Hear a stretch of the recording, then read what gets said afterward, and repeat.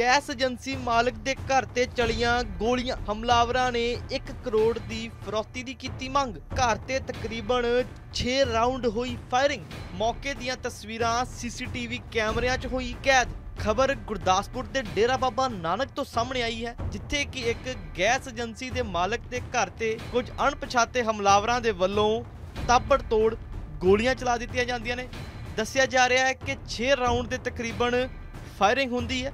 ਅਤੇ ਪਹਿਲਾਂ ਏਜੰਸੀ ਮਾਲਕ ਨੂੰ ਇੱਕ WhatsApp ਕਾਲ ਆਂਦੀ ਹੈ, ਜੋ ਕਿ ਇੱਕ ਵਿਦੇਸ਼ੀ ਨੰਬਰ ਤੋਂ ਹੁੰਦੀ ਹੈ ਅਤੇ ਉਸ ਫੋਨ ਕਾਲ ਤੇ ਇੱਕ ਸ਼ਖਸ ਦੇ ਵੱਲੋਂ ਗੈਸ ਏਜੰਸੀ ਦੇ ਮਾਲਕ ਤੋਂ 1 ਕਰੋੜ ਦੀ ਫਰੋਤੀ ਦੀ ਮੰਗ ਕੀਤੀ ਜਾਂਦੀ ਹੈ ਅਤੇ ਫਿਰ ਰਾਤ ਨੂੰ ਤਕਰੀਬਨ 11 ਵਜੇ ਦੋ ਹਮਲਾਵਰ ਆਪਣੀ ਬਾਈਕ ਤੇ ਆਉਂਦੇ ਨੇ ਅਤੇ ਗੈਸ ਏਜੰਸੀ ਦੇ ਮਾਲਕ ਦੇ ਘਰ ਦੇ ਬਾਹਰ ਤਾਬੜ ਤੋੜ ਗੇਟ ਤੇ ਗੋਲੀਆਂ ਚਲਾ ਜਾਂਦੇ ਨੇ। ਹਾਲਾਂਕਿ ਇਸ ਹਾਦਸੇ ਦੌਰਾਨ, ਘਟਨਾ ਦੌਰਾਨ ਕੋਈ ਜਾਨੀ ਨੁਕਸਾਨ ਨਹੀਂ ਹੋਇਆ, ਪਰ ਜੋ ਇਹ ਤਸਵੀਰਾਂ ਸੀ ਮੌਕੇ ਦੀਆਂ, ਉਹ ਸੀਸੀਟੀਵੀ ਕੈਮਰੇ 'ਚ ਕੈਦ ਹੋ ਗਈਆਂ ਕਿ ਕਿਸ ਤਰ੍ਹਾਂ ਦੋ ਹਮਲਾਵਰ ਬਾਈਕ ਤੇ ਆਉਂਦੇ ਨੇ ਅਤੇ ਫਿਰ ਘਰ ਦੇ ਮੂਹਰੇ ਆ ਕੇ ਉਹ ਆਪਣੀ ਬਾਈਕ ਰੋਕਦੇ ਨੇ ਅਤੇ ਬਾਈਕ ਤੇ ਪਿੱਛੇ ਬੈਠਾ ਹੋਇਆ ਹਮਲਾਵਰ ਆਪਣੇ ਹਥਿਆਰ ਦੇ ਨਾਲ ਘਰ ਤੇ ਤਾਬੜ ਤੋੜ ਗੋਲੀਆਂ ਚਲਾ ਦਿੰਦਾ ਹਾਲਾਂਕਿ ਇਲਾਕੇ ਦੇ ਵਿੱਚ ਪੂਰਾ ਦਹਿਸ਼ਤ ਭਰਿਆ ਮਾਹੌਲ ਬਣ ਜਾਂਦਾ ਕਿਉਂਕਿ ਗੋਲੀਆਂ ਦੀ ਆਵਾਜ਼ ਨਾਲ ਲੱਗਦੇ ਘਰਾਂ ਤੱਕ ਗੂੰਜਦੀ ਹੈ ਔਰ ਉੱਥੇ ਹੀ ਗੈਸ ਏਜੰਸੀ ਮਾਲਕ ਨੂੰ ਜਾਨੋਂ ਮਾਰਨ ਦੀ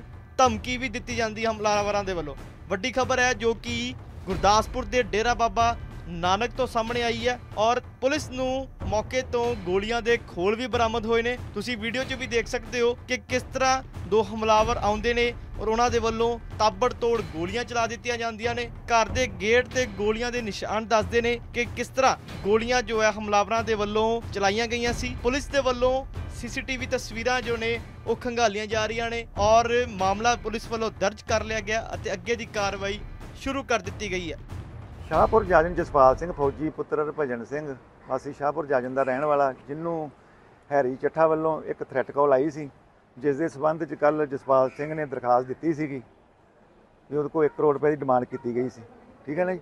ਮਾਮਲੇ ਦੀ ਜੇ ਕੱਲ ਜਿਹੜਾ ਤਸਦੀਕ ਚੱਲ ਰਹੀ ਸੀ ਕਿ ਰਾਤ ਕਰੀਬ ਕੱਲ 11 ਵਜੇ 11 ਵਜੇ ਦੇ ਲਗਭਗ ਆਸ-ਪਾਸ ਦੋ ਅਣਪਛਾਤੇ ਨਾਮਲੂ ਵਿਅਕਤੀਆਂ ਨੇ ਮੋਟਰਸਾਈਕਲ ਤੇ ਆ ਕੇ ਉਹਦੇ ਘਰ ਦੇ ਮੇਨ ਦਰਵਾਜ਼ੇ ਤੇ ਪੰਜ ਛੇ ਰਾਉਂਡ ਫਾਇਰ ਕੀਤੇ ਆ, ਜਿਸ ਤੇ ਸਮ- ਜਿਹੜੇ ਖੋਲ ਆ ਮੌਕੇ ਤੋਂ ਬਰਾਮਦ ਕਰ ਲਏ ਗਏ ਆ ਤੇ ਮੁਕੱਦਮਾ ਇਸ ਸੰਬੰਧੀ ਦਰਜ ਕਰ ਲਿਆ ਗਿਆ ਬੰਦੀਆਂ ਧਰਾਵਾਂ ਤਹਿਤ ਤੇ ਮਾਮਲੇ ਦੀ ਜਿਹੜੀ ਪੜਤਾਲ ਉਹ ਚੱਲ ਰਹੀ ਹੈ ਤੇ ਇਸ ਸੰਬੰਧੀ ਵੱਖ-ਵੱਖ ਟੀਮਾਂ ਜਿਹੜੀਆਂ ਵਾ ਉਹ ਗਠਿਤ ਕਰ ਦਿੱਤੀਆਂ ਗਈਆਂ ਵਾ।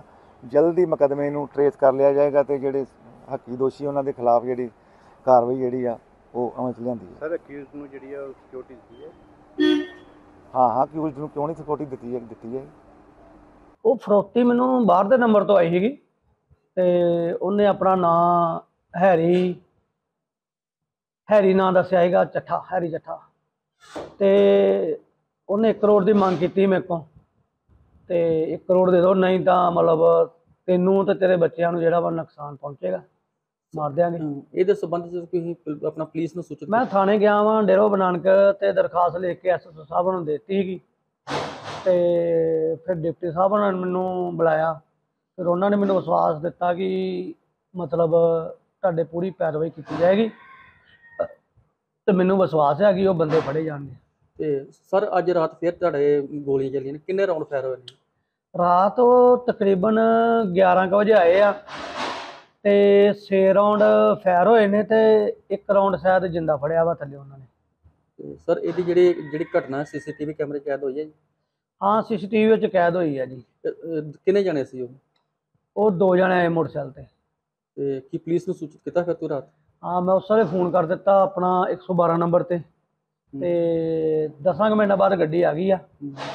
ਤੇ ਉਹਨਾਂ ਨੇ ਮਤਲਬ ਜੋ ਵੀ ਆ ਬਾਹਰੋਂ ਖੋਲ ਖਾਲ ਜਿਹੜੇ ਉਹਨਾਂ ਨੇ ਚੱਕ ਲਏ ਮੁੜ ਕੇ ਕਾਫੀ ਆ ਗਏ ਫਿਰ ਬਟਾਲਿਓਂ ਵੀ ਆ ਗਏ ਆ। ਡੇਰਾ ਬਾਬਾ ਨਾਨਕ ਤੋਂ ਵੀ ਆ ਗਏ ਨੇ। ਹਾਂ ਕੀ ਸਰ ਲੱਗਦਾ ਇੰਨੇ ਹੌਸਲੇ ਬੁਲੰਦ ਕਿਉਂ ਅਪਰਾਧੀਆਂ ਨੇ? ਕੀ ਲੱਗਦਾ ਤੁਹਾਨੂੰ? ਅਪਰਾਧੀ ਕੰਮਕਾਜ ਤੇ ਤੇ ਹੈ ਨਹੀਂ ਆ। ਬਾਕੀ ਜਵਾਨੀ ਜਿਹੜੀ ਆ ਜਿਹੜੇ ਪੈਸੇ ਤੇ ਲਾ ਥੋੜਾ ਬਹੁਤਾ ਲਾ ਕੇ ਤੇ ਬਾਹਰ ਜਾਂਦੀ ਜਾ ਰਹੀ ਆ। ਤੇ ਇੱਥੇ ਇਹੋ ਜਿਹੇ ਅਨਸਰ ਹੀ ਬਚੇ ਆ। ਸਰ ਇਦਾਂ ਵੱਲ ਬਿਜ਼ਨਸਮੈਨ ਤੇ ਫਿਰ ਰੋ- ਬਹੁਤ ਜ਼ਿਆਦਾ ਡਰਨਗੇ ਕੋਈ ਬਿਜ਼ਨਸ 'ਚ ਪੈਸੇ ਲਾ ਕੇ ਰਾਜੀ ਨਹੀਂ ਹੋਊਗਾ? ਨਾ ਨਾ ਨਾ ਪੈਸਾ ਤੱਕ ਲਾ ਕੇ ਇੱਥੇ ਬਿਜ਼ਨਸ ਕਰਨਾ ਹੀ ਕਿਸੇ ਨੇ ਨਹੀਂ ਹੈਗਾ। ਕਿਉਂਕਿ ਇਦਾਂ ਦੀਆਂ ਜਦੋਂ ਥਰਡ ਗੱਲਾਂ ਹੁੰਦੀਆਂ ਨੇ ਤੇ ਹਰ ਇੱਕ ਬ- ਸੋਚਦਾ ਕਿ ਮੈਂ ਆਪਣੇ ਬੱਚੇ ਨੂੰ ਸੇਫ ਰੱਖਾਂ ਤੇ ਬਾਹਰ ਭੇਜਦਾ ਪੁਲਿਸ ਨੇ ਹੁਣ ਤੱਕ ਕੀ ਕਾਰਵਾਈ ਕੀਤੀ ਹੈ ਜੀ? ਰਾਤੀ ਉਸ ਵੇਲੇ ਆ ਗਏ ਸੀਗੀ ਪੁਲਿਸ ਬਟਾਲਾ ਤੋਂ ਵੀ ਆਏ ਸੀਗੇ ਦੇਵੋ ਬਨਾਨਕ ਤੋਂ ਵੀ ਆ ਗਏ ਸੀਗੇ ਤੇ ਉਹਨਾਂ ਦੀ ਜਿਹੜੀ ਗੱਡੀ ਚੱਲਦੀ 112 ਨੰਬਰ ਉਹ ਤੁਰੰਤ ਆ ਗਈ। ਕੀ ਮੰਗਿਆ ਤੁਹਾਡੀ ਪ੍ਰਸ਼ਾਸਨ ਨੇ? ਮੰਗ ਇਹੀ ਆ ਵੀ ਜਿਨ੍ਹਾਂ ਦੀ ਇਹ ਕਾਰਵਾਈ ਕੀਤੀ ਆ, ਉਹ ਫੜੇ ਜਾਣ ਤੇ ਗਾਂ ਇਦਾਂ ਦੀਆਂ ਕਾਰਵਾਈਆਂ ਸ਼ਾਇਦ ਰੁਕ ਜਾਣਗੀਆਂ।